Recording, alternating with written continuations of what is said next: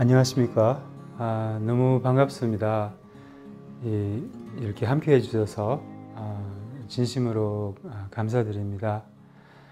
아, 오늘은 이제 단식 후기에 대해서 조금 말씀을 아, 여러분들과 나누고자 합니다. 어, 어제 단식을 풀었어요. 27일 하고 어제는 28일째였어요. 그래서 단식을 풀고 미염을 어제 두 번 먹고 이제 오늘 한 번또 아, 먹고 이제 아, 이 27일간의 단식의 경험과 또한 아, 단식에 대해서 이제 조금 말씀을 드리고 싶은데요. 저는 이 27일간 기도의 기간으로 삼고 이제 음, 작년에도 두 번 했고 올해 한 번 했고 앞으로도 아, 매년 이제 21일 아, 이상 이렇게 아, 단식을 할 마음입니다. 이 기간은 참회의 기간, 또한 성찰의 기간, 또 기도와 발언의 기간, 수행의 기간으로 삼고 특별히 이제 성찰과 또한 제 삶을 살펴보고 이런 기간으로 삼았어요. 그래서 정말 너무 훌륭한 그러한 마음의 결과 또 보시다시피 조금 몸의 결과도 있지 않았습니까? 저 비만이었어요. 근데 이제 아무튼 이제 그 목이 이렇게 나왔어요. 목이 보이죠? 목이 제가 있다는 걸 아셨어요? 모르실 수도 있는데, 예, 저 목이 있습니다. 아, 목이 실종이 됐는데 그동안 이제 다시 목을 찾았고요. 아, 무튼 아, 이 몸도 너무 아, 청정해지고 깨끗해지고 아, 우리 지난번에 단식 얘기했을 때 autophagy, autophagy 우리말로 하면 뭐 auto autophagy인가 그 자가 포식이라는 말이죠. 그거는 뭐냐면 이 몸이 아, 스스로 청소하는 거예요. 알아서 청소하는 거 그리고 재활용 알아서 재활용하는 거요. 재활용 시스템이 있어요. 그게 바로 autophagy, autophagy. 음, 이 단식이라는 것은 아, 어떤 뭐 약을 먹어서 무엇을 해서 이렇게 치유와 회복과 또한 해독이 되는 게 아니라 몸의 지혜로 몸의 직관으로 아, 하, 는 것이기 때문에 이 효율, 효율이 굉장히 어, 높다고 볼 수 있어요. 그래서 제 몸이 음, 이세 가지가 있었어요. 해독, 어, 정말 많은 독. 그 우리 현대인들은 독이 많이 쌓이잖아요. 우리 음식, 또 뭐 공해, 뭐또 아, 뭐지? 또한 마음의 그 음, 어, 불행으로 이렇게 몸에 이렇게 영향을 미치거든요. 그것도 그래서 이런 독을 이렇게 다 빼내는 그런 역할을 하는 거예요. 저절로 해독을 하거든요. 특히 첫 일주일 동안 해독 증상이 많이 일어나요. 해독 증상이 일어날 때 몸이 굉장히 아픈 것처럼 몸살도 나고 두통도 나고 뭐 여러 가지 현상이 일어나요. 그리고 그 첫 일주일에 그 acidophilus crisis이라고 하는데 아, 산의 위기라고 할까요? 그게 일어나요. 근데 그것을 못 넘기는 사람들이 많아요. 왜냐하면 너무 몸이 아, 반응이 안 좋기 때문에 그 해독 증상이 굉장히 심하기 때문에 그것이 지나가면 사실 몇 번 이렇게 음, 위기라고 할까 이렇게 넘어야 넘겨야 돼요. 그걸 넘으면 이제 몸이 괜찮아지고 그래서 첫 일주일이 제일 힘들다고 해요. 저는 첫 5일이 제일 힘들었어요 이번에. 아, 그리고 6일, 7일부터 몸이 이제 별 정상이 안 일어나고 물론 아, 27일 내내 아, 몸이 아, 몸의 기력은 아, 평소보다는 어, 있지 않았어요. 아, 어제 이제 처음으로 미염을 먹으니까 이제 기력이 좀 나더라고요. 오늘은 또 기력이 아, 음, 좀 많은 편이고 그래서 이제 그것을 넘기니, 넘기니까 일주일 첫 일주일이 좀 힘들고 아, 두 번째 일주일은 아, 조금 그 덜 힘들어요. 덜 대, 대체로 예, 저는 이제 이 7일부터 14일이 아, 좀 아주 좋았어요. 어, 운동도 할 수 있었고 아, 그래서 이 예, 둘째 주는 아, 음, 어렵지 않았고요. 아, 그리고 이 과정에서 중요한 것은 아, 이 관장하는 것이 상당히 중요해요. 뭐냐면 독이 아, 이 혈액에 빠져나오거든요. 그래서 관장을 저는 일주일에 두 번, 아, 뭐세 번 이렇게 했어요.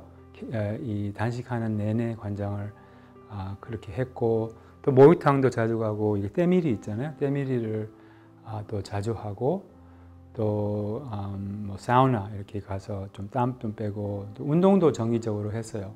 운동을 안 하니까 저는 되게 많이 처지더라고요. 그래서 운동을 하는 것이 적당한 운동. 첫 일주일은 운동을 해도 되고 아니면 그냥 쉬어도 되고. 근데 그 뒤로는 조금 운동을 아, 하는 것이 저는 개인적으로 그게 훨씬 낫어요. 아, 오전에 아, 한번 걷기 명상을 하면 그럼 이제 하루 종일 에너지가 더 많고 이제 음, 도움이 되었어요. 그래서 음 이제 이렇게 오래 단식을 하는 것이 위험하지 않는가. 물론 연구를 잘 하고 또 의사 선생님이나 이렇게 음, 이런 전문가들하고 아, 상의를 하는 것이 상당히 중요해요. 아, 근데 음, 그래도 음, 뭐랄까 아, 이런 연구를 해서 또한 아, 상담을 하고 나서 하, 고 싶으면 이 혜택이 아, 상당히 많다고 볼 수 있어요. 음, 이 여러 가지 병이 있잖아요, 우리. 그러니까 첫 번째는 해독, 두 번째는 회복. 아, 왜 회복이 되느냐면 몸이 쉬어지기 때문에 우리 소화 기능이 이제 아, 문 닫는 거예요. 그래서 그때는 정말 많이 쉬어지거든요. 아, 무엇보다도 필요한 것이 아, 우리도 휴식이 필요하잖아요. 예, 휴가가 필요하듯이 우리의 그 소화 기능도 이렇게 휴가가 필요한 거예요. 그래서 이렇게 쉬어주면 아, 이렇게 아, 온 몸이 아, 회복이 어, 됩니다. 아, 그리고 여러 가지 아, 병들이 아, 이렇게 알아서 이렇게 고쳐진, 고쳐진 다고 할 수 있거든요. 이런 것들은 여러분들이 알아서 조금 연구를 해보세요. 암과 관련된 그런 연구들도 많고요. 그리고 음, 다른 뭐 당뇨, 당뇨 같은 경우는 고칠 수 있는 병이잖아요. 그래서 아, 단식을 통하여 이 당이 당뇨가 아, 고쳐지는 경우가 굉장히 어, 높아요. 음, 몇 프로인지 정확히 기억이 안 나지만 뭐 거의 다 당뇨는 어, 날수 있다고 하거든요. 그리고 또 중독 있잖아요. 우리는 중독이 많잖아요. 담배, 술 이런 것들도 이제 음, 이 단식을 함으로 인하여 그런 중독이 없어진다고 해요. 몸이 새로 이렇게 아, 우리 몸은 항상 재생을 하거든요. 아, 재생을 한다는 것은 세포가 다시 만들어진다는 거예요. 그래서 이 단식하는 과정에서 이 몸이 재생을 해서 옛날에 있는 어, 집착 중독들이 다 깨끗이 없어진다는 거예요. 한 30일 정도 하면 우리의 식습관이 아, 완, 식습관을 완전히 바꿀 수 있다고요. 식단이 하니까 그 뭐라고 할까 그 입맛이 아, 달라진다고 하거든요. 그러니까 아, 건강한 음식이 오히려 맛있게 느껴지고 옛날에 땡기는 것들이 안 땡기고 그래서 이 단식 후에 아, 새로 시작할 수 있는 거예요. 어, 떤 것이라도 뭐, 아, 식단도 어, 바꿀 수 있고 그래서 여러 가지 음, 몸에 좋은 현상들이 일어난다고 합니다. 아, 그리고 마음에 아, 회복 또한 마음의 음, 아, 혜택이 많죠. 아, 저는 개인적으로 이 단식하기 전에 아, 다짐하지 못한 그런 아, 것들을 이제 다짐을 새롭게 다짐을 할 수 있고 아, 이런 힘이 생기는 겁니다. 아, 마음의 힘이 생기 생겨서 이제 아, 약간 새 출발이라고 볼 수 있죠. 몸도 마음도. 그래서 음, 여러분들도 혹시 아, 단식에 대해서 아, 관심이 있으시면 아, 스스로 연구를 해서 한번 시도를 해보시기를 권합니다. 그래요. 오, 그리고 단식할 때 중요한 것은 동기입니다.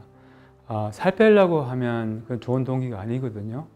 아, 단식은 아, 수행으로 삼아야 합니다. 그래서 아, 특히 이제 물론 건강을 위해서 단식하는 건 나쁘지 않아요.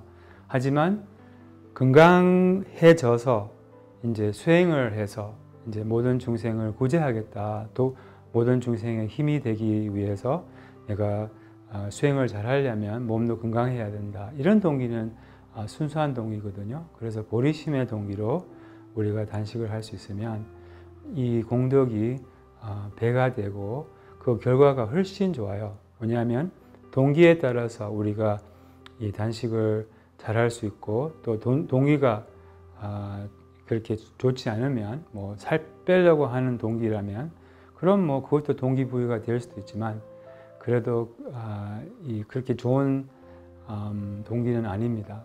그래서 아, 스스로 연구를 해보시고 이 단식 기간을 아, 수행과 기도의 시간으로 아, 삼고 스스로 알아보고 한번 아, 해보시기를 바랍니다. 단식은 짧게 해도 되거든요. 오, 보식에 대해서 좀 짧게 말씀드릴게요. 어, 이제 단식을 이렇게 오래 했잖아요. 27일 정도. 그럼 아, 그 이후로 이제 이 아, 장이 이렇게 줄어들고 아, 그래서 이제 아, 무엇을 처음으로 먹어야 되나 서양에서는 뭐 과일로 아니면 과일 주스로 이 보식을 시작하거든요. 근데 우리는 동양인이잖아요. 우리한테 제일 적합한 아, 보식은 미음이라고 생각해요. 그 미음은 아, 유기농 쌀에다가 이렇게 씻어가지고 조금만 요만큼 그리고 물을 한 12배 정도 넣고 그것을 끓여요. 그럼 어, 끓이고 나서 이제 약불로 한 1시간 정도 이렇게 더 끓이고 나서 이제 그것을 위에 있는 하얀 거품을 건져내고 그것을 먹는 거예요. 간 없이 첫날은 간 없이 그냥 두 번 정도 그 물을 마시고 이런 식으로 이제 저는 한 일주일간 어, 미염과 그 죽으로 이제 보식을 할 예정입니다. 간을 원하시면 좋은 간장을 아주 이렇게 숟가락을 이렇게 한번 넣고 그 정도로 아, 매운 것이나 이런 것 먹으면 아니면 소금이나 아니면 설탕 이런 것을 먹으면 식욕이 너무 많이 일어나서 그 감당을 못 하거든요. 그래서 간을 안 넣는 것이 좋아요. 일주일 정도는 아, 그렇게 오래 보식을 한, 아, 오래 단식을 했다면 그래서 한 일주일 뒤에 저는 이제 부드러운 음식, 뭐 야채, 뭐 죽을 끓일 때는 또 야채를 푹 삶아서 넣어도 돼요. 한 3일째부터는. 아, 그래서 이런 식으로 보식을 아, 잘할 수 있으면 저는 한방 재료를 그 죽을 끓일 때 같이 넣어서 아, 이렇게 그, 음, 아, 뭐 구지, 어, 구자차라고 하는가 뭐 이런 한방 재료를 넣어가지고 같이 죽을 아, 끓여서 먹습니다. 그래요. 아, 관심 있으시면 한번 스스로 알아보고 한번 해보시기를 바랍니다. 정말 어, 뭐라 할까 이 건강의 비결이라고 할 수 있고 또 새 출발을 할 수 있는 그런 훌륭한 계기가 될 수 있다고 아, 생각합니다. 여러분의 건강을 아, 응원하면서 다음 시간까지 안녕히 계십시오.